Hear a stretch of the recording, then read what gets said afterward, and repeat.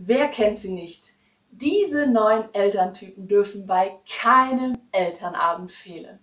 Bewundert, gehasst oder einfach ignoriert, stellen sie den ultimativen Endgegner für Lehrer und andere Eltern dar. Erkennt ihr welche wieder?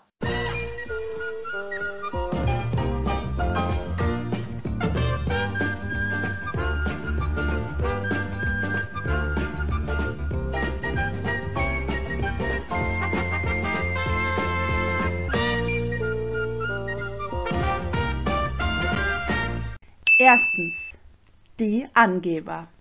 Also mein Kind, Justin, der kann ja wirklich alles. Ich habe mal einen Ordner mitgebracht mit Erfolgen und Urkunden, die mein Sohn alleine in den letzten zwei Jahren gesammelt hat.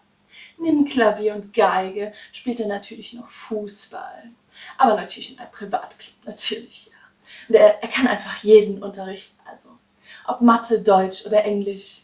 Er kann einfach schon alles, obwohl er in der ersten Klasse ist. Und wussten Sie, dass er schon lesen und rechnen konnte, als er in die Schule kam? Zweitens. Die Gesunden. Also mein Kind, Michelle, kam letztens wirklich nach Hause und wollte Fleisch essen. Das geht natürlich gar nicht. Dieses ungesunde Zeug hier in der Kantine, das funktioniert nicht.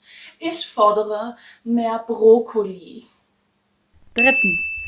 Die Coolen. Yo, Brudi, letzte Reihe, wie damals. Ich habe Karten dabei. Viertens. Die Ehrgeizigen. Ähm, ich habe da mal eine Liste vorbereitet mit Kritikpunkten an den Lehrer. Wir müssen gegen diese unfähige Person rebellieren. Und ähm, das Protokoll schreibe ich natürlich auch. Ne? Und ich habe es mir natürlich nicht nehmen lassen, mich auch als Elternsprecher aufstellen zu lassen. Fünftens. Everybody's Darling. Ach, Ulrike, es ist so schön, dich zu sehen. Ach, meine Gute, erzähl. Wie waren die Sommerferien? Wie geht's dir? Was habt ihr gemacht? Wer ist Ulrike und wer sind Sie überhaupt? Sechstens. Der Retter in der Not. Also, ähm, wenn niemand Elternsprecher werden will, dann mache ich das natürlich selbstverständlich gerne. Siebtens. Die Workaholics.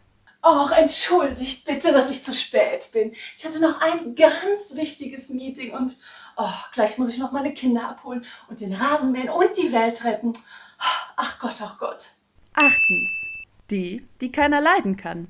Ich weiß, es ist schon spät. Oh ja, 22.30 Uhr, aber eine kleine Frage hätte ich da doch noch. Neuntens. Die Gelangweilten. Äh, wenn ich da mal kurz unterbrechen dürfte. Wieso darf genau mein Sohn jetzt kein Handy in der Schule haben? Ich meine, immerhin ist er schon sieben.